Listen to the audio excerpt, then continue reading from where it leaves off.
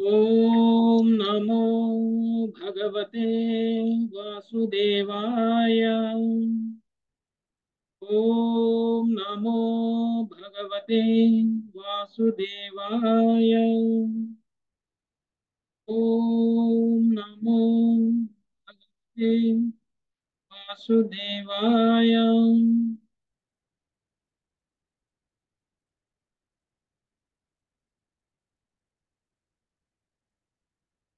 హరే కృష్ణ అందరికి వెల్కమ్.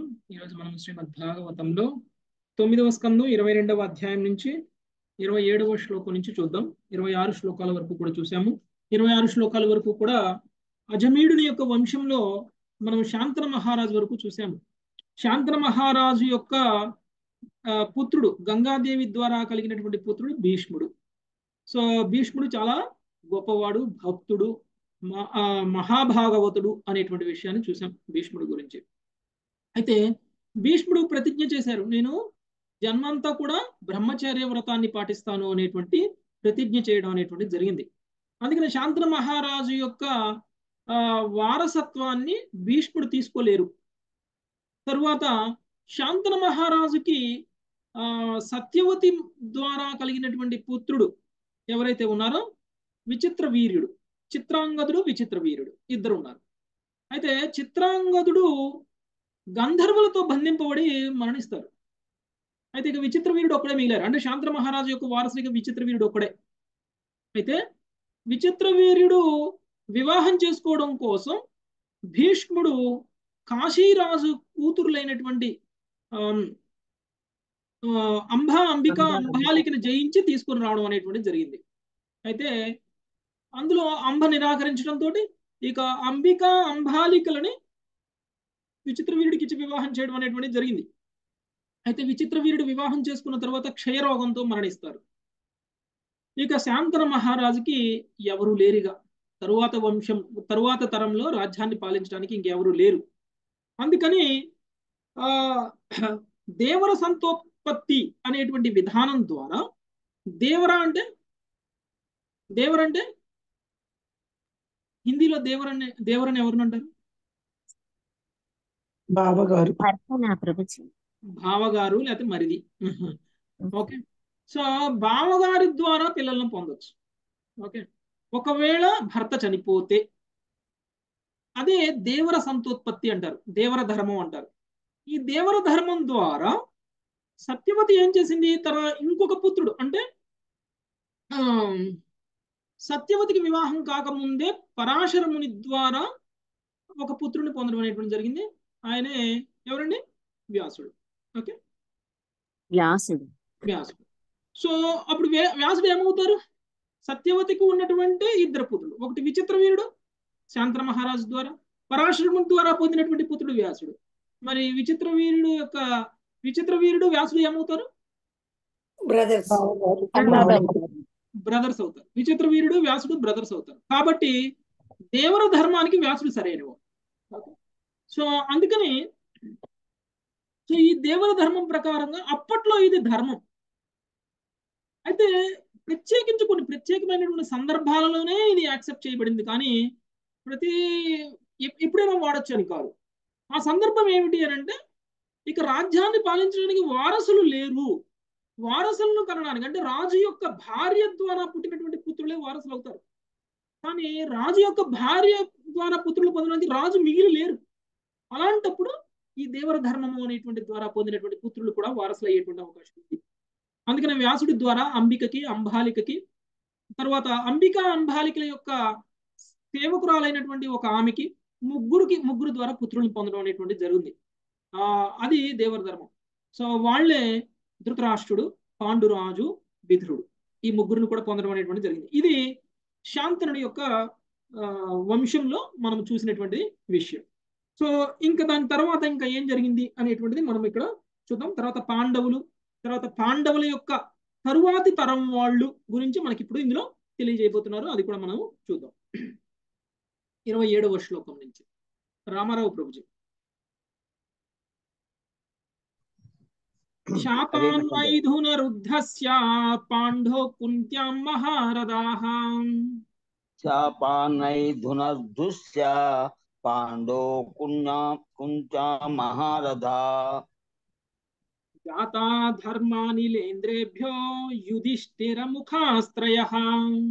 जाता धर्मानिलेन्द्रेभ्यो युधिष्ठिरमुखास्त्रयः యుధిష్ఠర ముఖాస్త్రయా నకులः సహ దేవశ్చ మాధ్యామ్నా సత్యదస్రయో నకులః సహదేవశ్చ మాధ్యామ్నా సత్యద్రసయో ద్రౌపద్యాం పంచ పంచభ్యः పుత్రాస్తే పితరో భవన్ ద్రౌపద్యాం పంచ పంచభ్యః పుత్రాస్తే పితరో భవన్ హరే కృష్ణ మునిశాపం వలన పాండురాజు మైథున కార్యముని విడిచెను.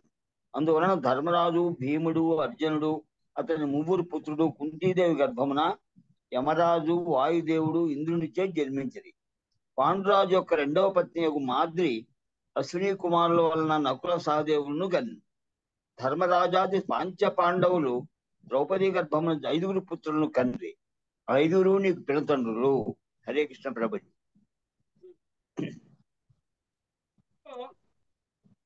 ఇప్పుడు కుంతిదేవి గురించి చెప్తున్నారు. యాక్చువల్గా ముని శాపము అనేటువంటిది పాండురాజుకు ఉంది.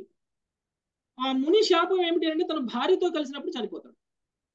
సో అలాంటి శాపాన్ని పొందడం వలన పాండురాజు ఇంకా పిల్లల్ని కలలేనటువంటి పరిస్థితికి ఏర్పడింది. పాండురాజుకి ఇద్దరు భార్యలు కుంతీదేవి మాధ్రి అయితే పాండురాజుని మనం ఎవరని చెప్పుకున్నాము? వ్యాసుడు ద్వారా అంబా అంబిక అంబాలికలకి జన్మించినటువంటి పుత్రుల్లో పాండురాజు ఒకడు. అయితే ఈ పాండురాజు పిల్లల్ని కలలేనటువంటి పరిస్థితిలో ఉన్నప్పుడు తన భార్య అయినటువంటి కుంతీదేవికి ఉన్నటువంటి ప్రత్యేకమైనటువంటి వరం అది కూడా మనకి తర్వాత అధ్యాయంలో వస్తుంది. ఓకే తర్వాత అధ్యాయంలో మనకి అసలు కుంతీదేవికి ఈ వరం ఎలా వచ్చింది అనేటువంటిది ఉంటుంది. అయితే ఆ ఈ పాండురాజు యొక్క భార్య అయినటువంటి కుంతీదేవికి ఆ ఒక వరం ఉంది. ఆ వరం ద్వారా ఏ దేవీ దేవతలైనా ఆహ్వానించి ఆ దేవీ దేవత ద్వారా ఆమె పిల్లలను పొందవచ్చు. సో పిల్లలను ప్రసాదంగా తీసి స్వీకరించవచ్చు సో అలాంటి వరం ఉంది ఆమెకి. అప్పుడు ఇక పాండురాజు ఇప్పుడు భార్యతో కలవలేరు కాబట్టి పాండురాజు అంగీకారంతో కుంతీదేవి దేవీ దేవతలను ఆహ్వానించడం అనేటువంటిది జరిగింది. ఆ ఆమె ధర్మరాజు భీముడు అర్జునుడు అనేటువంటి ముగ్గురు పుత్రులు కుంతీదేవి గర్భమున యమరాజు వాయుదేవుడు ఇంద్రులతోటి పొందడం అనేటువంటిది జరిగింది. ముగ్గురు పుత్రులు కుంతీదేవి కలిగారు. యమరాజు ద్వారా ధర్మరాజు వాయుదేవుడి ద్వారా భీముడు ఇంద్రుడి ద్వారా అర్జునుడిని పొందడం అనేటువంటిది జరిగింది. ఇక పాండురాజు యొక్క రెండవ భార్య ఉంది. ఆమె పేరు మాధ్రి.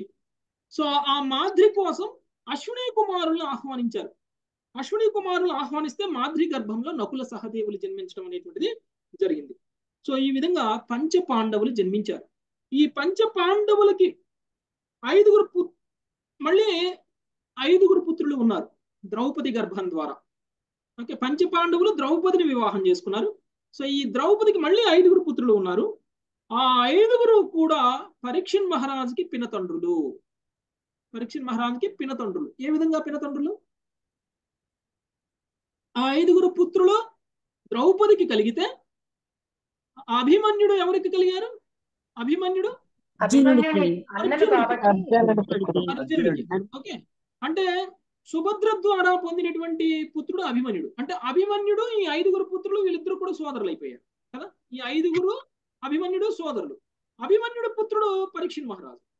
కాబట్టి తన తండ్రి యొక్క సోదరులైనటువంటి ఉప పాండవులందరూ కూడా ఏమవుతారు? పినతండ్రులు. ఇక్కడ చెప్తున్నారు. పరీక్షణ్ మహారాజుకు చెప్తున్నారు కాబట్టి వాళ్ళ ఐదుగురు నీ పినతండ్రులు అనేటువంటి విషయాన్ని చెప్తున్నారు. అంటే పరీక్షణ్ మహారాజు వంశం వరకు వచ్చేసారు ఇప్పుడు చెప్పడం. ఓకే? నెక్స్ట్ ఇరవై తొమ్మిది జయలక్ష్మి మాతాజీ హరే కృష్ణ ప్రభు. యుధిష్ఠిరాత్ ప్రతినిధ్య యుధిష్ఠిరాత్ ప్రతివింద్య శృతసేనో వృకోధరాత్ యుధిష్ఠరాత్ ప్రతివింధ్య శృతసేనో వృకోధరాత్ అర్జునాశ్రుత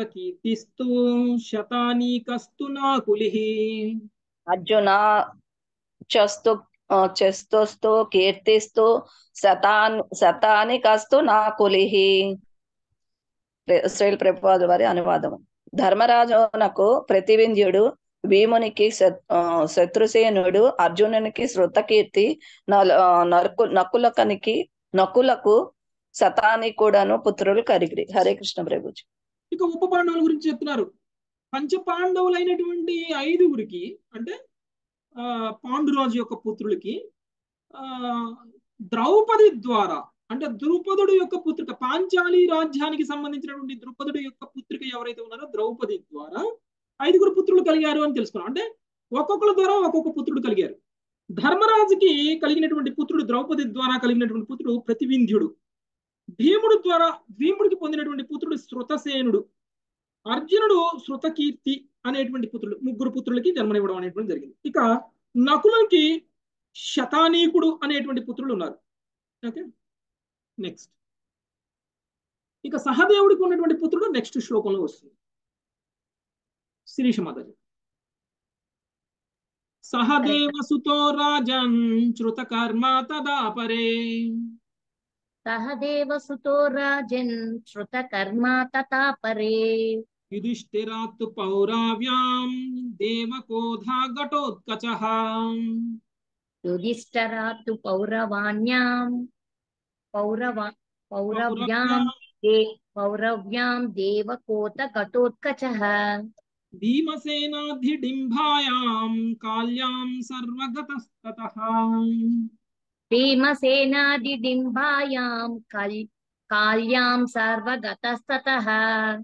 కల్ కాళ్యాం సహదేవా సహదేవా తు విజయాసూత పార్వతీ సహ దేవా తు విజయాసూత పార్వతీ. రాజా సహదేవుని కుమారుడు శృతకర్మ. ఇంకను ధర్మరాజుల ఇతర భార్యల వలన ఇంకొందరు పుత్రులను బడిసిరి. ధర్మరాజునకు పౌరవి వలన దేవకుడు జన్మించెను. భీమసేనుడు ఇడింబ వలన కటోత్క కటోత్కచుని కాళీ వలన సర్వగతుకుని సర్వగతుని కనెను. అదే విధముగా సహదేవుడు పర్వతరాజు పుత్రికయ్యగు విజయ వలన సుహోత్రుడను పుత్రుని గనెను. హరే కృష్ణ. ఈ పంచపాండవులకు ఉన్నటువంటి ఇతర పుత్రుల గురించి కూడా చెప్తారు. ఇందాక నలుగురు పుత్రులు చెప్పారు. ఎవరికి? ధర్మరాజుకి భీముడికి అర్జునుడికి నకులుడికి కలిగినటువంటి పుత్రుల గురించి చెప్పారు నలుగురు పుత్రులు. ఇక సహదేవుడికి కలిగినటువంటి ఐదవ పుత్రుడి పేరు శృతకర్మ. ఇక ఈ ఐదుగురు ద్రౌపది ద్వారా కలిగినటువంటి పుత్రుడు ఇక ద్రౌపది ద్వారా కాకుండా ఇంకా ఈ ఐదుగురికి పుత్రులు ఉన్నారు. సో వాళ్ళ పేర్లు చెప్తున్నారు. ధర్మరాజాదులు ఇతర భార్యల వలన ఇంకొంతమంది పుత్రులను పొందారు. ధర్మరాజుకి పౌరవి వలన దేవకుడు జన్మించను. ఇది మనకు తెలియదు. ధర్మరాజుకి ద్రౌపది ద్వారా కాకుండా కూడా ఇంకొక భార్య ఉన్నారు అనేటువంటి విషయం కూడా ఇందులో చెప్తున్నారు. ఆమె పేరు పౌరవి. ఆ పౌరవి ద్వారా ఆయన దేవకుడు అనేటువంటి పుత్రుని పొందారు. తర్వాత భీముడికి హిడింబ ద్వారా ఘటోద్గజుడు. ఇది మనకు తెలిసిన విషయం. తర్వాత కాళి అనేటువంటి స్త్రీ వలన సర్వగతుడు ఆయన పొందారు. ఇంకా అదే విధంగా సహదేవుడికి ఇంకొక భార్య ఉంది పర్వతరాజు పుత్రిక అయినటువంటి విజయ. సో విజయ ద్వారా సుహోత్రుడు అనేటువంటి పుత్రుడిని పొందారు. ఓకే? సో వీళ్ళందరూ కూడా పాండవుల యొక్క పుత్రుడు నెక్స్ట్ ముప్పై రెండవ శ్లోకం. సుజాత మాత కరేణుమత్యాం నకులో నరమిత్రం తదా అర్జున కరేణుమత్యాం నకులో నరమిత్రం తదార్జునః. ఇరావంతములుప్యాం వై సుతాయాం సుతాయాం బభ్రువాహనం. హిరావర్తాములుప్యాన్ వై సుతాన సుతాయాం బభ్రువాహనం. మణిపుర మణిపుర పతే సోపి తత్పుత్ర పుత్రికా సుత మణిపురాపతే సోపి తత్పుత్ర పుత్రికా సుతాః నకులుడు కరేణుమతి అను భార్య వలన నరమిత్రుని కనెను అదే విధముగా అర్జునుడు నాగకన్య అయిన ఉలిపి వలన ఇరావంతుని మణిపుర రాజకన్యక నందు బభ్రువాహనుని కనెను. ఈ బభ్రువాహనుడు మణిపుర రాజునకు దత్తపుత్రుడయ్యను. భాష్యం. అతి పురాతన పర్వత ప్రాంతమగు మణిపుర దేశ రాజకుమార్తె పార్వతి. అనగా పాండవులు పరిపాలించినట్టి ఐదు వేల సంవత్సరముల క్రిందటే మణిపురము ఉన్నది. దాని రా దాని రాజు రాజు దాని రాజు ఉన్నాడు. ఆ రాజ్యము అత్యంత పురాతనమైన వైష్ణవ రాజ్యము. ఐదు వేల సంవత్సరములుగా అది. ఇది తన ఉనికిని నిలుపుకొని ఉన్న కారణమున ఈ రాజ్యమును వైష్ణవ దేశముగా తీర్చిదిద్దినచో అట్టి పునరుద్ధ పునరుద్ధరణము గొప్ప విజయమే కాగలదు. వైష్ణవ స్ఫూర్తి అతడ తిరిగి నెలకొనినచో అది అద్భుతమైన స్థానముగా మారి సమస్త ప్రపంచములో ప్రఖ్యాతి చెందగలదు. మణిపుర వైష్ణవులు వైష్ణవ సంఘములు సుప్రసిద్ధులు బృందావన వనమునందు మాయాపురమునందు మణిపుర రాజు నిర్మించిన ఆలయములు పెక్కు కలవు. కృష్ణ భావనకు చెందిన కొందరు భక్తులు మణిపుర దేశమునకు చెందిన వారై ఉన్నారు. కనుక వారి సహాయ సహకారములచే ఆ హరినామ సంకీర్తనోద్యమము మణిపుర దేశమున చక్కగా విస్తరించగలదు. హరే కృష్ణ ప్రభుజీ ధన్యవాదాలు.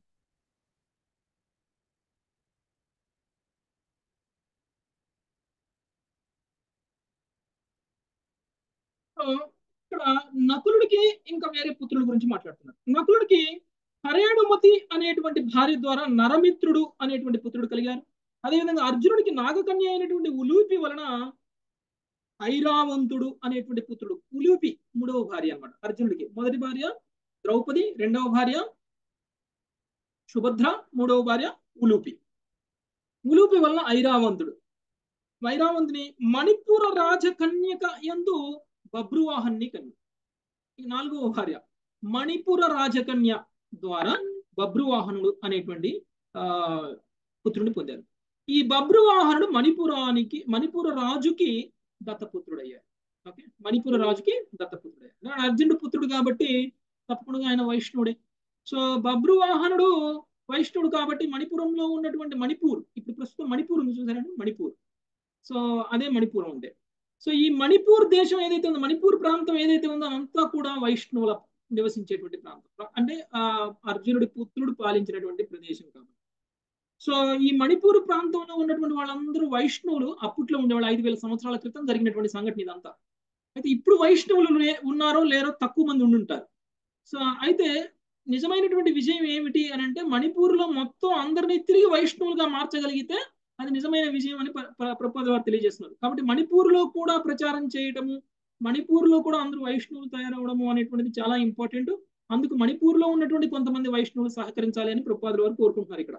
ఓకే? నెక్స్ట్ ముప్పై మూడు. మంగ తయారు మాత తవ తాతః సుభద్రాయాం తాతః సుభద్రాయ అభిమన్యురజాయతః. సర్వాతిరత జిద్వీరా ఉత్తరాయాం తతో భవాన్. సర్వాతీరద జిద్వీరా ఉత్తరాయం తతో భవాన్. ఓ పరీక్షణ్ మహారా పరీక్షణ్ మహారాజా నీ తండ్రి యొక్క అభిమన్యుడు సుభద్రకు అర్జును సుతునిగా జన్మించినాడు. అతడు అధిరథులందరినీ వెయ్యి మంది రధికలతో పోరాడగలిగిన వారు ఓడించినట్టు వీరుడు. అతని వలన విరాట పుత్ర విరాటరాజ పుత్రికైన ఉత్తర గర్భంన నీవు జన్మించితివి. హరే కృష్ణ.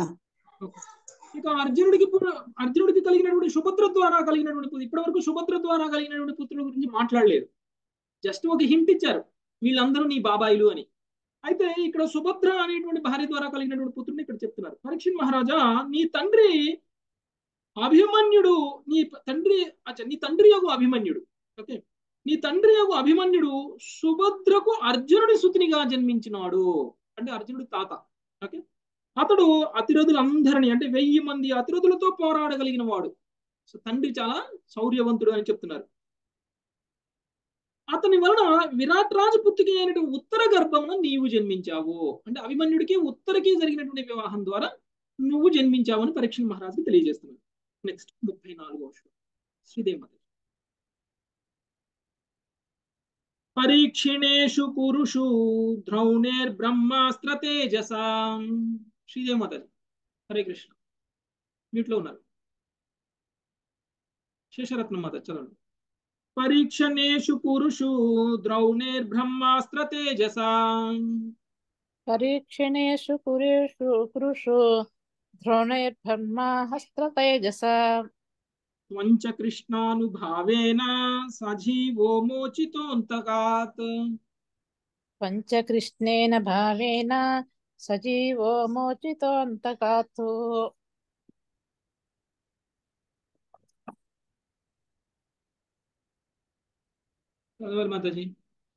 కురు కురుక్షేత్ర మన కురువంశము నశించిన పిదప ద్రోణాసుతుడు ప్రయోగించిన బ్రహ్మాస్త్రము నువ్వు కూడా మరణించు మరణింప మరణింపనునను శ్రీకృష్ణ భగవాన్ని అనుగ్రహముచే మృత్యువు నుండి బయట బయటపడితివి.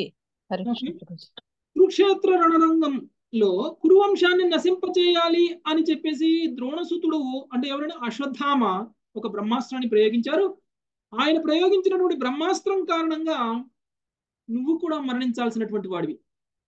కానీ శ్రీకృష్ణ భగవానుడు అనుగ్రహం వలన మృత్యువు నుంచి నువ్వు బయటపడ్డావు అని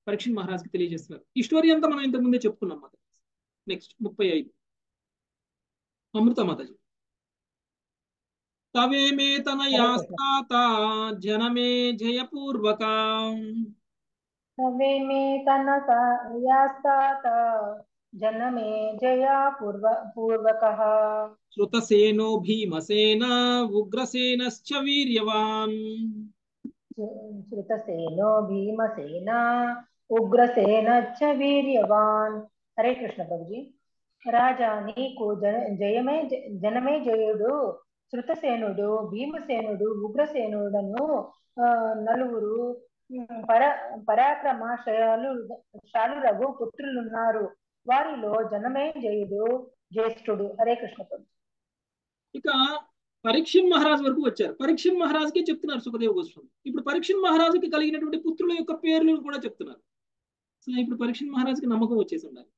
ఇంతకు అంటే నా పుత్రుల పేర్లు సుఖదేవ గోస్వామి కరెక్ట్గా చెప్పారంటే ఇంతకు ముందు చెప్పిన వాళ్ళ పేర్లన్నీ కూడా కరెక్ట్ అన్నట్టే. అందుకనే పరీక్షణ్ మహారాజు యొక్క పుత్రులు ముగ్గురు.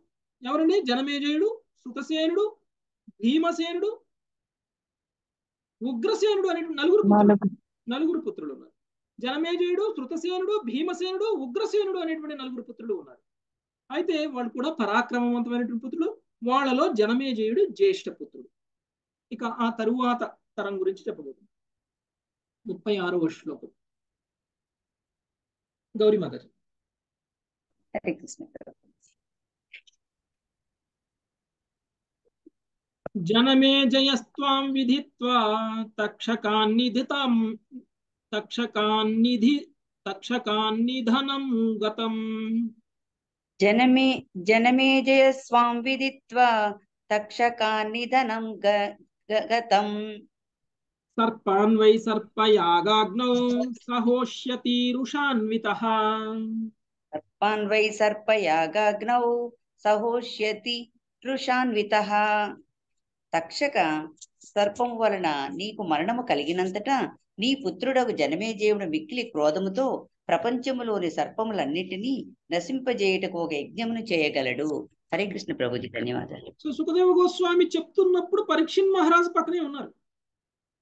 అంటే ఇదంతా కూడా పరీక్షణ్ మహారాజ్కి ఇక్కడి నుంచి చెప్పేదంతా కూడా పరీక్షణ్ మహారాజ్కి తెలియని విషయాలు. భవిష్యత్తులో జరగబోయేటువంటి విషయాల గురించి ఇప్పుడు చెప్తున్నారు. నువ్వు తక్షకుడు కాడు వల్ల మరణిస్తావు. మరణించడం వల్ల నీ పుత్రుడైనటువంటి జనమేజయుడికి క్రోధం కలుగుతుంది. నీ పుత్రుడైనటువంటి జన్మేజయుడికి కలిగినటువంటి క్రోధం వల్ల ఒక సర్పయాగాన్ని చేస్తారు. సర్పయాగం యొక్క లక్ష్యం ఏమిటి అని అంటే ప్రపంచంలో ఉన్నటువంటి సర్పాలన్నీ కూడా నశించిపోవాలి అనేటువంటి ఉద్దేశంతో ఆయన ఒక యజ్ఞం చేయబోతున్నారు అని భవిష్యత్తులో జరగబోయేటువంటి విషయాన్ని పరీక్షణ్ మహారాజుకి ఆయన చనిపోక ముందే చెప్పారు. ఆయన చనిపోయిన తరువాత ఉండేటువంటి సిచ్యువేషన్ని చనిపోక ముందే తెలియజేశారు. నెక్స్ట్ ముప్పై ఏడవ శ్లోకం. రామారావు ప్రభుజీ కాలశేయం పురోధాయ తురం తురగమే దశాట్ కాలశేయం పురోధాయ తురం తురగమేధషాట్ తమన్నాత్ పృథివీం ర- సర్వాం జిత్వా యక్ష్యతి చాధ్వరై సమన్మాత్ ప- దివాం సర్వాం జిత్యా యక్షతి చాధ్వరై హరే కృష్ణ సమస్త ప్రపంచమును జయించిన పిదప జనమేజయుడు కలుషుని పుత్రుడగు తురుని పురోహితునిగా చేసుకొని అశ్వమేధ యజ్ఞములను నిర్వహించును. అందుచే అతడు దుర్గమేధస అని ప్రసిద్ధి చెందగలడు. హరే కృష్ణ ప్రభుజీ. పుత్రుడు భవిష్యత్తులో చేయబోయేటువంటి పనుల గురించి ఇక్కడ చెప్తున్నారు. సమస్త ప్రపంచాన్ని జయిస్తాడు. జయించిన తరువాత ఆయన అశ్వమేధ యజ్ఞాన్ని కూడా చేశారు. అశ్వమేధ యజ్ఞం చేయడం కోసం ఆయన పురోహితుడుగా ఎవరిని పెంచుకున్నారట పెట్టుకున్నారట? కలుషుని పుత్రుడైనటువంటి తురుని పురోహితునిగా పెట్టుకుని అశ్వమేధ యజ్ఞాన్ని నిర్వహించారు. అందుకని ఆయన్ని తురగ మేధష అనే పేరుతో కూడా పిలుస్తారు అని చెప్తున్నారు. ముప్పై ఎనిమిదవ శ్లోకం. ఉమాపతి ప్రభుజం. ఉమాపతి ప్రభుజం. తస్య పుత్రస్య తానీకో యాజ్ఞవల్క్యాత్రయీం పటాన్. తస్య పుత్రస్య తానీకో యాజ్ఞవల్కాత్రయ త్రయీం అస్త్రజ్ఞానం క్రియాజ్ఞానం శౌనకాత్ పరమేశ్యతి జ్ఞానం క్రియాజ్ఞానం శౌనకాత్ పరమేశ్యతి జనైన పుత్రుడు శతానుడు యజ్ఞములపనించిన మూడు వేదములను క్రియాజ్ఞానమును నేర్వగలడు అతడు యుద్ధ విద్యను కృపాచారుని చెంత ఆధ్యాత్మిక జ్ఞానమును సౌనుకు ఋషి చెంత నేర్వగలడు హరే కృష్ణ ప్రభుజీ. ఇక జనమేజయుడికి పుత్రుల గురించి మాట్లాడుతున్నారు. జనమేజయుని యొక్క పుత్రుడు శతానీకుడు యాజ్ఞవల్కుని చెంత మూడు వేదములను క్రియాజ్ఞానమును నేరుస్తాడు. యాజ్ఞవల్కుడి దగ్గర నేర్చుకుంటాడు. మూడు వేదాలు నేర్చుకున్నాడట జనమేజయుడి యొక్క పుత్రుడు అయినటువంటి శతానీకుడు. అంతేకాకుండా ఆ క్రియాజ్ఞానాన్ని కూడా నేరుస్తాడట. అతడు యుద్ధ విద్యను కృపాచార్యుని దగ్గర నేర్చుకున్నారు. ఆధ్యాత్మిక జ్ఞానానికి సౌనక ఋషి చెంత నేర్చు నేర్పగలరు. సౌనక ఋషి ఎవరండి? సౌనక ఋషి. సూత గోస్వామి దగ్గర వింటారు కదా గోస్వామి? శిష్యులు కాదు సూత గోస్వామి దగ్గర భాగవతం విన్నవాళ్ళు వింటారు సో అందరూ కాదు. సౌనక ఋషి ఒక అతను. అక్కడ చాలా మంది ఋషులు ఉన్నారు. వాళ్ళందరూ వేరు వేరు. సౌనక ఋషులు కాదు వాళ్ళందరూ. సౌనక ఋషి వాళ్ళందరికీ కూడా లీడర్గా ఉన్నారు. అందుకనే సౌనకాది ఋషులు అంటారు. సౌనకుడు మొదలుగున్నటువంటి ఋషులు అని చెప్పడం కోసం సౌనకాది ఋషులు అని అంటారు. సౌనకుడు ఏం చేస్తున్నారు? ఆ ఋషులందరి తరఫున మాట్లాడటానికి ఒక ఒక వ్యక్తిని ఎంచుకున్నారు. ఇప్పుడు వెయ్యి మంది ఉన్నటువంటి ఋషులందరూ కూడా ప్రశ్నలు వేయడం మొదలు పెట్టారు అనుకోండి సూత గోస్వామి సో అక్కడ ఒక పెద్ద గొడవలాగా ఉంటుంది. ఎవరి ప్రశ్న వినపడదు సూత గోస్వామికి ఎవరికి సమాధానం చెప్పాలో అర్థం కాదు. అందుకనే వెయ్యి మంది తరపున ఒకళ్ళు మాట్లాడడం కోసం సౌనక ఋషిని ఎంచుకున్నారు. అందుకనే వాళ్ళందరినీ కలిపి సౌనకాది ఋషులు అని అన్నారు. సో కాకపోతే సౌనక ఋషి ఒక్కడే. సో సౌనక ఋషి ద్వారా ఆయన ఆధ్యాత్మిక జ్ఞానాన్ని పొందారట ఎవరు జనమేజయ మహారాజు యొక్క పుత్రుడైనటువంటి శతానీకుడు అంటే పరీక్షిన్ మహారాజు తరువాత జనరేషన్ కాకుండా ఆ తరువాత జనరేషన్ అంటే మనవడు మనవడి జనరేషన్ గురించి మాట్లాడు నెక్స్ట్ ముప్పై తొమ్మిది జయలక్ష్మి మాతాజీ సహస్రానీక సహస్రానీక తత్పుత్ర తతైశ్చైవ స్వమేధజ సహస్రాని కస్త కస్పుత్ర శస్త్రై చ వాస్య మేధస్ మేధజ్య అసీమ కృష్ణస్తస్యాపి నేమి చక్రస్తు తత్సుత అసీమ కృష్ణ సస్త్యాపి నేమి చక్రస్తు తత్సు తత్సత అనువాదము శ్రీల ప్రపాదుల వారి అనువాదం శతానికుని పుత్రుడు సహస్రానికు సహస్రానికుడు. అతని అతనికి అశ్వమేధ్యుడు జన్మించును. అశ్వమేధ్యునికి అశ్వ అసీమ కృష్ణుడు. అతనికి మే నేమి చక్రుడు జన్మింపగలరు. హరే కృష్ణ ప్రభు ఇప్పుడు ఇప్పుడు వీళ్ళంతా పుట్టలేదు. పరీక్షిన్ మహారాజు సుత పరీక్షన్ ప- మహారాజుకు సుఖదేవ గోస్వామి చెప్తున్నటువంటి సమయంలో వీళ్ళందరూ పుట్టలేదు. అందుకనే భవిష్యత్తులో పుడతారు అని చెప్తున్నారు. పుట్టారు అని చెప్పాల. పుడతారు అని చెప్తున్నారు. ఎవరడా శతానీకుడికి పుత్రుడు సహస్రానీకుడు. సహస్రానీకుడి యొక్క పుత్రుడు అశ్వమేధజుడు. అశ్వమేధజుని యొక్క పుత్రుడు అసీమ కృష్ణుడు అసీమ కృష్ణుడి యొక్క పుత్రుడు నేమిచక్రుడు అనేటువంటి వాళ్ళు భవిష్యత్తులో పుడతారు అని చెప్తున్నారు. భవిష్యత్తు కూడా చెప్తున్నారు సుఖదేవ గోస్వామి. నెక్స్ట్ నలభై శ్లోకం. శిరీష गजाह्वये हृते नद्या कौशाभ्याम साधुवत्स्यति गजाह्वये हृते नद्या कौशाभ्याम साधुवत्स्यति।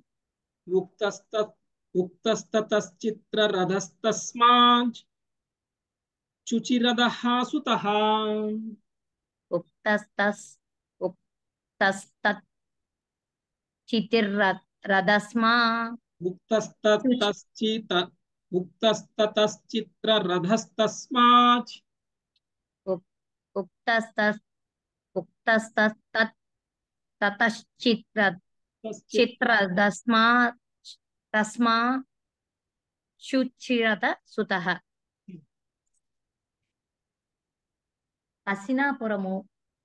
న- నదిలో మునిగినంతటా నైమీచక్రుడు కౌశంబియను ప్రాంతమున జీవించును అతని తనయుడు చిత్రరథునిగా ప్రసిద్ధి చెందగలడు. చిత్రరథునికి సుచిరథుడను పుత్రుడు జన్మించును. హరే కృష్ణ అంటే భవిష్యత్తులో హస్తినాపురం నీళ్ళలో మునిగిపోబోతుంది. అలా నీళ్ళలో అంటే అప్పట్లో హస్తినాపురం అంటే ఇప్పుడు ఢిల్లీ న్యూ ఢిల్లీ అయిపోయింది. అప్పుడు ఓల్డ్ ఢిల్లీ అన్నమాట. సో ఏదైతే ఢిల్లీ ఉందో ఆ ఢిల్లీ ఇప్పుడు అప్పట్లో నీళ్ళలో మునిగిపోయినప్పుడు అందరూ మరణిస్తారు. అప్పుడు నేమిచక్రుడు నేమిచక్రుడు ఎవరండి? ఈ యొక్క పరీక్ష మహారాజు వంశంలో వచ్చినటువంటి వాడు. జనమేజయ మహారాజు యొక్క వంశంలో ఉన్నటువంటి వాడు. సో ఈ నేమిచక్రుడు ఏం చేశారట? హస్తినాపుర ప్రాంతాన్ని వదిలేసి ఆయన కౌశాంబి అనేటువంటి ప్రాంతానికి వెళ్ళిపోయారు. అక్కడ జీవించారు. అతని తనయుడు చిత్రరథుడుగా ప్రసిద్ధి చెందగలడు. చిత్రరథునికి సుచిరథుడు సుచిరథుడు అనేటువంటి పుత్రుడు జన్మించారు నెక్స్ట్ నలభై. అంటే వీళ్ళందరూ ఇంకా జన్మించలేదు. జన్మిస్తారు. ఓకే భవిష్యత్తులో కలుగుతారు అని చెప్తుంది నెక్స్ట్ కేశ సుజాత మదరి తస్మాచ్చ వృష్టి మాంస్తస్య సుషేనోత మహీపతి సుజాత మదరి హరే కృష్ణ ప్రభుజీ నలభై ఒకటవ శ్లోకం హరే కృష్ణ తస్మాత్ వృష్టి మాంస్తస్య సుశేషనోథ సునీతస్తస్య భవితా నృచక్షుర్యత్ సఖి సుఖీ నలః సునీతస్య భవిత ఋతశ్చ నృతక్షుర్యత్ సుఖీ నలః శుచిరథునికి వృష్టిమానుడు జన్మించును అతని పుత్రుడగు సుశేషుడు ప్రపంచ చక్రవర్తి అగును సుశేషునికి పుత్రుడు సునీధరుడు సు సునీధురు సునీధుడు. అతనికి రుచక్షువు పుత్రుడగును. అతనికి సుఖీనలుడు జన్మించును. హరే కృష్ణ ప్రభు సో ఇంతకు ముందు సుచిరథుడు. చిత్రరథుని యొక్క పుత్రుడు సుచి సుచిరథుడు అని చెప్పుకున్నాం. ఇప్పుడు సుచిరథుడు యొక్క పుత్రుడు వృష్టిమానుడు. అతని పుత్రుడు సుషేణుడు. ఆ సుషేనుడు ప్రపంచం మొత్తానికి కూడా చక్రవర్తిగా అయ్యాడు ఏ విధంగా పరీక్షణ మహారాజు అయ్యారో ఆ విధంగా. ఇక సుషేనుడు యొక్క పుత్రుడు సునీతుడు. సునీతుడు యొక్క పుత్రుడు నృచక్షువు. ఆయనకి సుఖీనలుడు అనేటువంటి పుత్రుడు జన్మిస్తారు. నెక్స్ట్ నలభై రెండు. మంగతాయారు మొదలు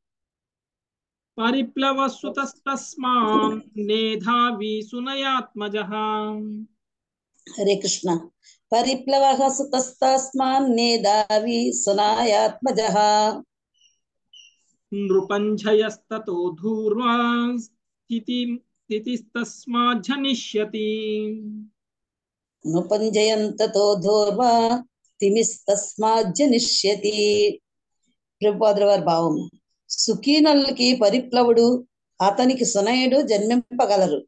సునయునకు మేధావి అతనికి నృపంజయుడు అతనికి దూర్వుడు దూర్వినికి తిమి జన్మింతురు. హరే కృష్ణ. ఇక భవిష్యత్తులో ఇంకా ఎన్నో తరాలు చెప్తున్నారు ఇప్పుడు ఆయన. సుఖీనలుడికి పరిప్లవుడు ఆయనకి సునయుడు జన్మిస్తారు. పరిప్లవుడికి సునయుడు. సునయుడికి మేధావి మేధావికి నృపంజయుడు నృపంజయుడికి ధూర్వుడు ధూర్వునికి తిమి అనేటువంటి పుత్రుడు భవిష్యత్తులో జన్మించనున్నారు నెక్స్ట్ నలభై మూడు. శ్రీదేవి మాతాజీ. హరే కృష్ణ తిమేర్బృహద్రదస్తస్మాత్ చతానీకః సుదాసజః. तिमे बृहद्रस्तदस्तास्मचानीकस्तुदासजः శతానీకాధుర్ధుమనస్తస్య శతానీకార్ధుర్ధుమనస్తస్యాం పత్యం యా పత్యం మహీనరః ప్రభుజీ చదవ ఆ, చదవండి శేతానీకార్దుర్దమనస్తస్య పత్యం మహీనరః తిమికి బృహద్రథుడు బృహద్రథునికి సుదాసుడు అతనికి శతానీకుడు జన్మింతుడు శతానీకునికి దుర్దమనుడు అతనికి మహీనరుడను పుత్రుడు జన్మింపగలడు. థ్యాంక్ యూ వీళ్ళందరి పేర్లు సేమే పెట్టుకున్నారో ఇంకేం పెట్టుకున్నారో మనకి తెలియదు మాతది మొత్తం మీద వీళ్ళందరూ కూడా భవిష్యత్తులో పుట్టబోతున్నారు. వాళ్ళందరి పేర్లు తిమికి బృహద్రథుడు బృహద్రథుడికి సుధాసుడు ఆయనకి శతానీకుడు జన్మిస్తారు. శతానీకుడికి దుర్ధమనుడు అతనికి మహీనరుడు అనేటువంటి పుత్రుడు జన్మిస్తారు. ఒక్కొక్కరికి వంద వంద సంవత్సరాలు వేసుకున్నా కానీ ఇప్పటి వరకు ఎంతమందిని చెప్పారో అన్ని ఇంటూ వంద వేస్తే ఎన్ని వందల సంవత్సరాలు అయినాయో చూస్తే ఏ జనరేషన్లో ఉన్నటువంటి వాళ్ళు అనేటువంటిది మనకు అర్థమవుతుంది ఇక్కడ. ఇప్పుడు మన జనరేషన్ కావాలంటే ఐదు వేల సంవత్సరాలు. అంటే దగ్గర దగ్గరగా యాభై జనరేషన్లు కంప్లీట్ అవ్వాలి. యాభై వందల మంది యాభై మంది యాభై మందిని కనుక చెప్తే యాభైవ జనరేషన్ అంటే పరీక్షణ్ మహారాజు తర్వాత యాభైవ జనరేషన్లో ఉన్న వాళ్ళు ఇప్పుడు మనతో పాటు ఉంటారు ఓకే? సో మిగిలిన వాళ్ళందరూ మనకంటే ముందు ఉన్నటువంటి వాళ్ళు. నెక్స్ట్ నలభై నాలుగు నలభై ఐదు. ఉమాపతి ప్రభుజీ. ఉమాపతి ప్రభుజీ. దండపానిర్నిమిస్తస్య క్షేమకో భవితాయుతః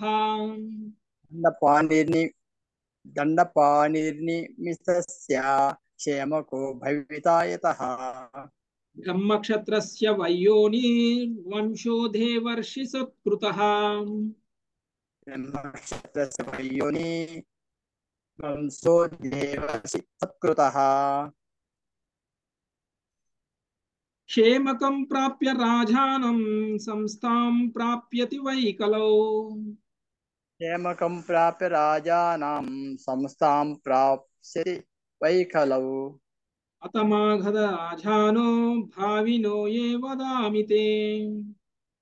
సమాగాద రాజోనో భావినో ఏ వదామితే మహీనరునికి దండపాని దండపానికి నిమి అతనికి క్షేమకుడు జన్మింతుడు బ్రాహ్మణ క్షత్రియ వంశులకు వంశములకు కారణభూతము దేవఋషి. పూజిత పూజితమైనను చంద్రవంశమని ఇప్పుడు వర్ణించి తిని కలియుగమున క్షేమకుడే చివరి రాజు. ఆ మగధ వంశరాజులను గూర్చి వివరించదని వినుము. హరే కృష్ణ ప్రభుజీ. ఇప్పటి వరకు కూడా చంద్రవంశంలో ఉన్నటువంటి రాజుల గురించి వివరించారు. ఇప్పుడు మగధ రాజుల గురించి వర్ణించబోతున్నాను అని చెప్పారు. సో చంద్రవంశంలో చివరి రాజు ఎవరండి? చివరి రాజు క్షేమకుడు అనేటువంటి విషయం చెప్పారు. ఆ తర్వాత ఇక కలియుగంలో ఆ తర్వాత క్షేమకుడు తర్వాత ఇక రాజులు లేరు. కలియుగం వచ్చేంత వరకు వాళ్ళు ఉన్నారు. నెక్స్ట్ ఇక మగధ వంశ రాజుల గురించి ఇక్కడ చెప్పబోతుంది. శ్రీదేవి మాత చదువు. బహి భవితా సహ దేవస్య మార్జారీర్యచ్రుతశ్రవాం శ్రీదేవి మాతాజీ శేషరత్నం మాత చదవండి. భవితా సహ దేవస్య మార్జారీర్యచ్రుతస్రవాం భవితా సహ దేవస్య మార్జితారశ్చుత్రస్తవః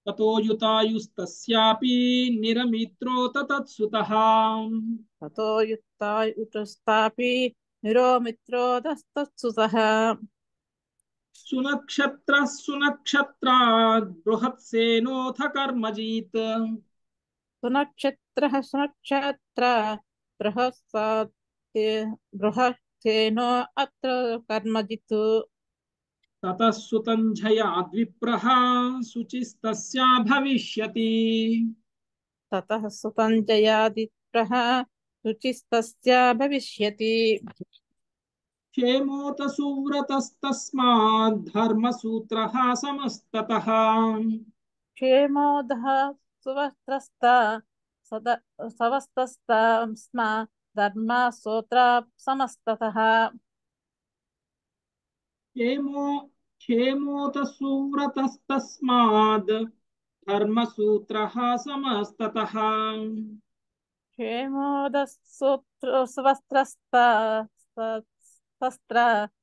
धर्मसूत्र समस्ततः सुमत्सेनोत सुमतिः सुबलो जनिता ततः सुमत्सेनो ततः सुमतिः सुबोलो जनितो ततः జరాసంధుని సుతుడగు సహదేవునకు మర్జారి అను పుత్రుడు జన్మించును.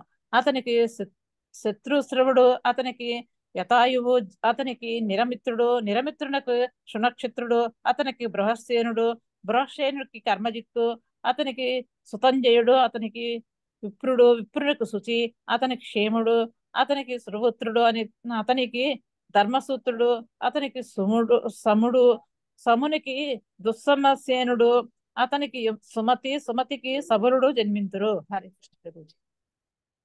ఇక జరాసంధుడి వంశంలో భవిష్యత్తులో రాబోయేటువంటి రాజుల యొక్క చరిత్ర గురించి రాజుల గురించి పరిచయం చేస్తున్నారు జరాసంధుడు భీముడి చేతిలో మరణించారు. ఓకే? పంచపాండవుల్లో ఒకడైనటువంటి భీముడి చేతిలో మరణించారు.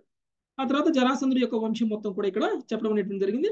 సుమతి నవులు సుబులుడు అనేటువంటి వాళ్ళు జన్మించారంట చివరిగా. ఆ తర్వాత నెక్స్ట్ సూర్యకుమారి మాత సునీత సత్యజితదః సునీత సత్యజిదదా విశ్వజిద్యద్రిపుంజయ సునిధ సత్యజితదః విశ్వజిద్వద్రిపుంజయః బర్హద్రద్ బర్హద్రతాశ్చ భూపాల భావ్యా సహ సాహస్రవత్సరం భార్వాద్రతాచ్చ భూపాల భావ్య సహస్రవత్సరం. సుబలునికి సునీధుడు అతనికి సత్యజిత్తు సత్యజిత్తునకి విశ్వజిత్తు అతనికి రిపింజయుడు జన్మింతుడు. బృహద్రదుని వంశములకు చెందిన వీరందరూ ఒక వెయ్యి సంవత్సరముల కాలము ప్రపంచమును పాలించగలరు. భాష్యం జరాసంధునిత ఆరంభమైన రాజవంశ చరిత్ర చరిత్రము ఇట్లున్నది. పైన పేర్కొనబడిన రాజులందరూ ఈ ధరణిపై జన్మించగా అది ఒక వెయ్యి సంవత్సరము కొనసాగినది. శ్రీమద్ భాగవతం నందలి అజమీడుని వంశీజులు అను ఇరవై రెండవ అధ్యాయంలో భక్తి వేదాంత భాషకు సమాప్తం. థ్యాంక్ యూ జరాసంధుడి వంశీయులు కూడా ఎంతమంది ఉన్నారు? వాళ్ళందరూ కూడా వెయ్యి సంవత్సరాల పాటు పాలించడము అనేటువంటిది జరిగింది. ఇక్కడికి అజమీడుని యొక్క వంశంలో ఉన్నటువంటి వాళ్ళందరి గురించి కూడా చెప్పడం అనేటువంటి జరిగింది.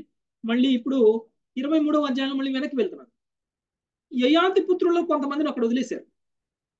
యయాతికి కలిగినటువంటి పుత్రుడు ఆ ద్వారా వచ్చినటువంటి వంశం గురించి ఇక్కడ చెప్పారు. ఆ తర్వాత యయాతి పుత్రులు ఇంకొంతమంది ఉన్నారు. వాళ్ళ వంశంలో వాళ్ళు కూడా ఇక్కడ తెలియజేయడం జరుగుతుంది. వాళ్ళ వంశంలో యదు వంశం వస్తుంది. ఓకే? యదు వంశం ఆరంభం అయ్యేటువంటి సందర్భాలు ఇక్కడ కనిపించలేదు. ఎందుకంటే వీటన్నిటిలో కూడా రాజుల వంశాలు వీళ్ళందరూ కూడా ఆ హస్తినాపురానికి సంబంధించినటువంటి కురు వంశం వరకు వచ్చారు ఇక్కడ. ఇక ప్యారలల్గా యదు వంశం కూడా వచ్చింది. అది యయాతి వేరే పుత్రుల ద్వారా యదువంశం రావడం అనేటువంటిది జరిగింది. అది మనకి మూడవ ఇరవై మూడవ అధ్యాయంలో మనకి వివరించబోతుంది. ఓకే సునీత మాతాజీ ఒకసారి సమ్మరి చదవండి ఇరవై మూడవ అధ్యాయం. హరే కృష్ణ ప్రభుజీ. యయాతి తనయుల వంశముడు ఈ ఇరవై మూడవ అధ్యాయమున అనుద్రుహ్యు తుర్వసు యదువంశములు జ- జామకుని జామకుని చరిత్రము వర్ణితమైనవి. యయాతి నాలుగవ పుత్రుడగు అనువునకు సభానరుడు చక్షువు పరేష్ణువు అను పుత్రుని జన్మించిరి. ఈ ముగ్గురిలో సభానరుని పుత్ర పౌత్ర వంశావళిలో కాలనరుడు సృంజయుడు జనమేజయుడు మహాశాలుడు మహామనుడు జన్మించి మహామనునకు ఉరి ఉసీనరుడు తితిక్షు అను పుత్రులు కలిగిరి. ఉసీనరునికి శిబివరుడు కృమి దక్షుడను పుత్రులు కలిగి కలిగిరి. వారిలో శిబికి వృషాతర్భుడు సుధీరుడు మద్రుడు కేకయుడు అను నలుగురు పుత్రులు కలిగిరి. తితిక్షువు పుత్రుడు ఋషద్ ఋషద్రథుడు అతని పుత్రుడు హోముడు. హోమునికి సుతపుడు అతనికి బలి జన్మించింది ఈ ప్రకారం వారి వంశము కొనసాగినది. బలి భార్యకు దీర్ఘతముని వలన అంగవంగ కళింగ సుష్మ ఓట్రులు జన్మించి రాజులైరి. అంగునికి కన కలపానుడు జన్మించెను. అతని వంశమున దివిరథుడు ధర్మరథుడు చిత్రరథుడు రోమపాదుడని కూడా పిలువబడెను. క్రమమున జన్మించిరి. దశరథుడు తన కుమార్తెలలో ఒకటి అయిన శాంతను తన మిత్రుడకు రోమపాదునకు దానమిచ్చెను రోమపాదునికి సంతానము లేనందున శాంతను పుత్రికగా స్వీకరించెను. ఋష్యశృంగుడు ఆమెను పరిణయమాడెను. ఋష్యశృంగిని అనుగ్రహంచే రోమపాదునికి చతురంగుడను ఒక పుత్రుడు కలిగాను. చతురంగుని పుత్రుడు ఋతులాక్షుడు. అతనికి బృహద్రథుడు బృహత్కర్ముడు బృహద్భానువు అని ముగ్గురు పుత్రులు కలిగిరి. బృహద్రథుని పుత్రుడు బృహద్భనుడు. అతని పుత్ర పౌత్ర క్రమంలో జయద్రథుడు విజయుడు ధృతి ధృతవత్రుడు సత్కర్ముడు అతిరథుడని వారును జన్మించిరి. కుంతీదేవి త్యజించిన పుత్రుని కర్ణుడు అతిరథుడు స్వీకరించును. కర్ణుని తనయుడు వృషసేనుడు.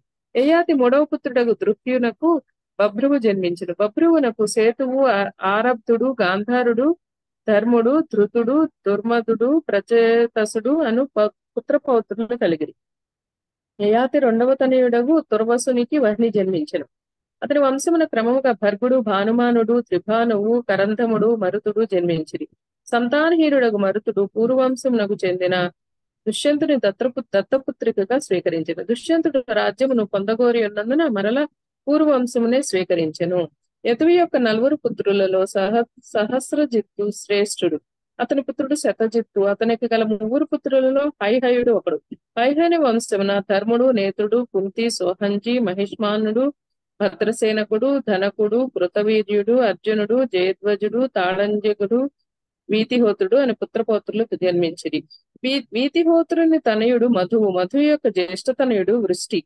యదువు మధువు వృష్టి కారణముననే వారి వంశములు యాదవ మాధవ వృష్టి నామములతో పిలువబడినవి. వేరొక యదుపుత్రుడు ప్రోష్ఠుడు అతని వంశమున వృజనవానుడు స్వాహితుడు విషద్దువు చిత్రరథుడు శశబిందువు ఋతుశ్రవుడు ధర్ముడు ఉసనుడు రుచకుడు జన్మించారు. రుచకునికి ఐదుగురు పుత్రులు. వారిలో జ్యామకుడు ఒకడు. అతడు పుత్రహీనుడై ఉండెను. అయినను గొడ్రాలకు అతని భార్య దేవతల అనుగ్రహం చే విదర్భుడను ఒక పుత్రుని కనెను. హరే కృష్ణ ప్రభుజీ. ధన్యవాదాలు హరే కృష్ణ అర్థమైంది మాతాజీ మీరు చెప్తారు మధ్య ప్రభుజీ. ఓకే. సో యయాతికి ఐదుగురు పుత్రులు ఉన్నారు గుర్తుందా?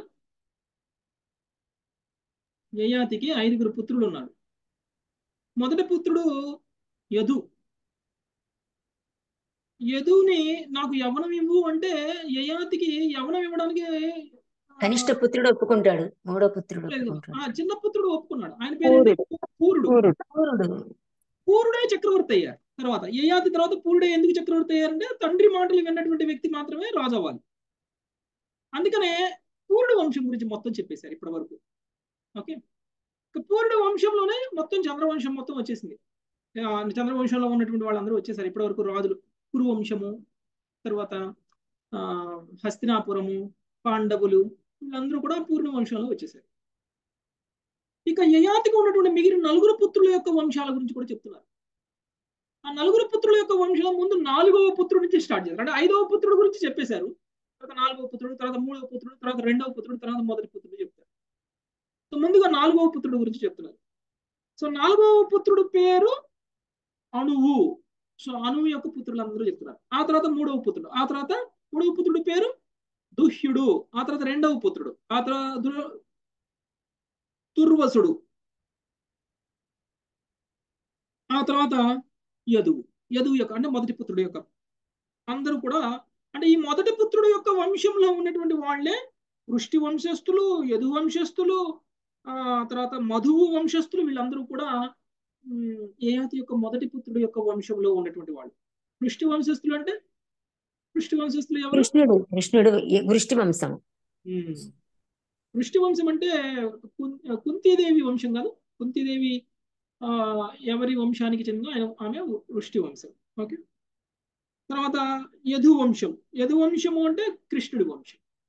ఓకే? అంటే వాళ్ళందరూ అమల్దమ్ములు ఇక. ఓకే? సో ఆ విధంగా మనకి డీటెయిల్గా మనం చూద్దాము. ఎవరు ఎవరి ద్వారా ఎవరు ఎలా వచ్చారు అనేటువంటిది. ఓకే?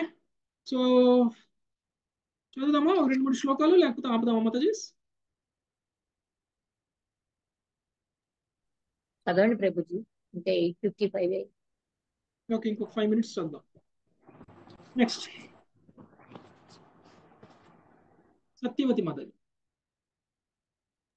శ్రీ శుకవాచ శ్రీ శుకవాచ అనుసభా నరశ్చుక్షుః పరేష్టుశ్చాత్రయः సుతాः అనుసభా నరశ్చుక్షుః नरश्चक्षुः परेष्णश्च त्रया सुताः సభానరాత్ కాలనరః సృంజయస్తు తతః सभानरात् कालनरः सृञ्जय సృంజయస్తు తస్తతః సుఖదేవ గోస్వామి పలికెను యయాతి నాలుగవ పుత్రుడగు అనువుకు నభానరుడు సభానరుడు చక్షువు పరేష్ణువు అను ముగ్గురు పుత్రులు కలిగిరి రాజా సభానరునికి కాలనరుడు కాలనరునికి సృంజయుడు ఓకే.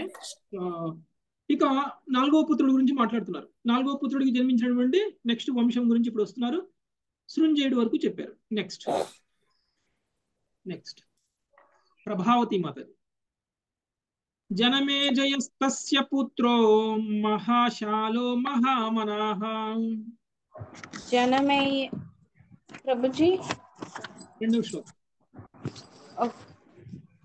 జనమే జయస్తస్య ఏమైంది మాతాజీ రెండోదేనండి నాకేం కనిపించట్లేదు. రెండవ శ్లోకం మాతాజీ ఐదు వందల ఐదవ పేజీ. ఐదు వందలు ఒక వేరే వాళ్ళని చదవండి మాతాజీ రామారావు ప్రభుజీ చదవండి. ప్రభుజీ మాట్లాడతాను చెప్తాను. ఐదు వందల ఐదో పేజ్. చదవండి నెక్స్ట్ శ్లోకం మీరు చదువు గారు మీరు తీయండి. రామారావు ప్రభుజీ మీరు చదవండి. శ్రీష్ మాతాజీ మీరు చదవండి. హరే కృష్ణ ప్రభు జనమే జయస్తస్య పుత్రో మహాశాలో మహామనాహ ఉషీనరస్థితిక్షుశ్చ మహామనస ఆత్మజో. కుషీనరస్థితి సుక్ష మహామనస్ ఆత్మజౌ. సంజయునకు జనమేజయుడు అతనికి మహాశాలుడు. మహాశాలునికి మహామనుడు. అతనికి ఊసి ఊసీనరుడు తితిక్షువు అను ఇరువురు పుత్రులు జన్మించారు హరే కృష్ణ ప్రభుజీ. ఓకే. సృంజయునికి జనమేజయుడు ఈ జనమేజయుడు వేరు ఆ జనమేజయుడు వేరు. ఇంతకు ముందు మనం చెప్పుకున్న జనమేజయుడు అతనికి మహాశాలుడు మహాశాలునికి మహామునుడు అతనికి ఉషీనరుడు తితుక్షువు అనేటువంటి పుత్రులు జన్మించారు. ప్రభావతి మాతాజీ తీసారా? కరెక్ట్ శ్లోకానికి వచ్చారా? మూడు నాలుగు చదవండి శ్రీ శిబిర్వరః శిబిర్వరః కృమిర్దక్ష చత్వారోషీనరాత్మజా శిభిర్వర కృపిర్దక్ష చత్వారోషి నరాత నరాత్మజాః వృషాధర్భ సు వృషాధర్భ సుధీరశ్చ ముద్రః కేకయ ఆత్మవాన్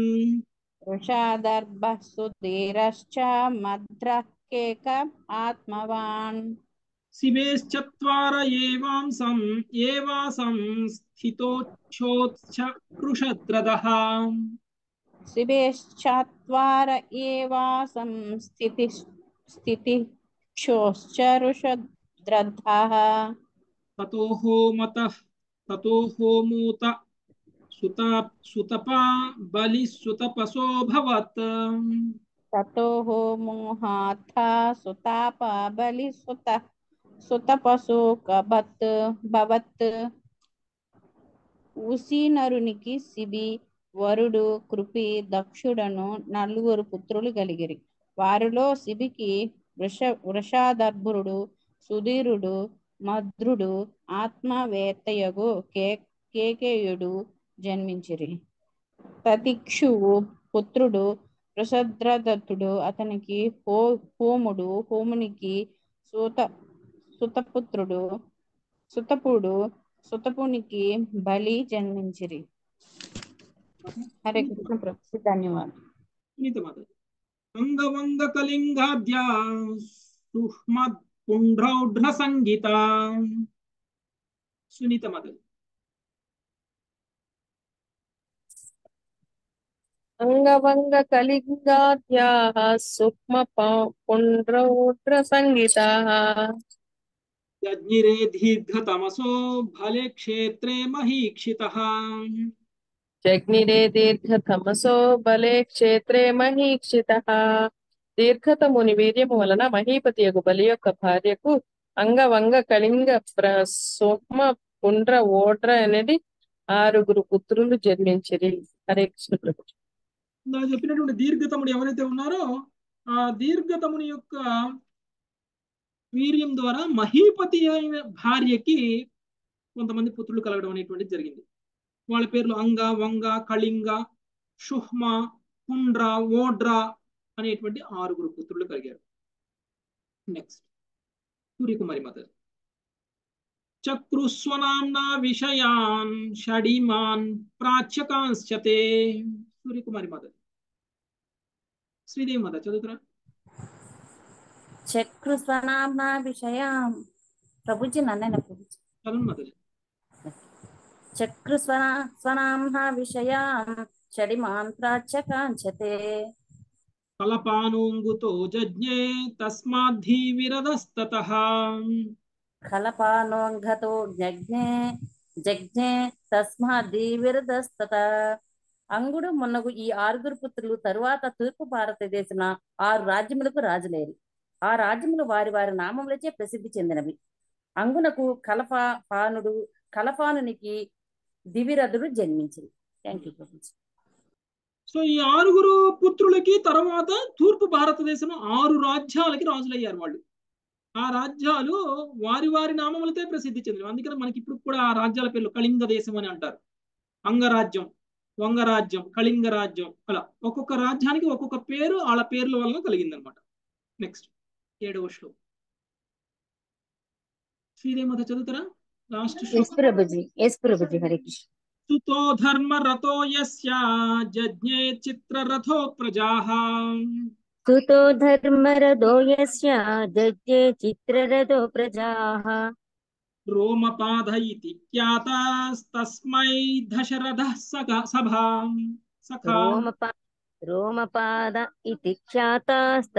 दशरथः सखा शान्तां स्वकन्यां प्रायश्च प्रायश्चृङ्गा उवाहयाम्।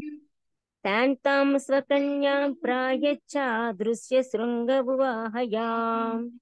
देवे अवर्हति यम रामा अनिन्युर्हरिणी अनिन्युर्हरिणी सुतम्। देवे अवर्षति यम रामा आनिन्युर्हिरिणी सुतम्। नाट्यसङ्गीतवाधीतैर् विभ्र विभ्रमालिङ्गनार्हणैः नाट्यसङ्गीतवादित्रैर्विभ्रमालिङ्गिलार्हणैः चतुराज्ञोन् चतुराज्ञोनपत्यस्या निरूप्येष्टिं मरुत्वते। चतुराज्ञो नवत्यस्या निरूप्येष्टिं मरुत्वते। प्रजामधाद्धशरथो येन लेभे प्रजा प्रजाः।